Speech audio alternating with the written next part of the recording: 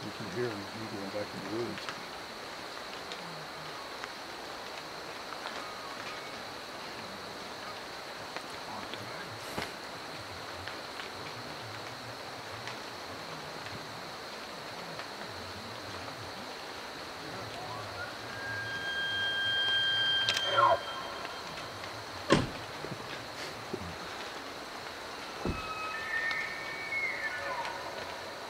They just sound like a dinosaur. Let's Get that hollow sound to it.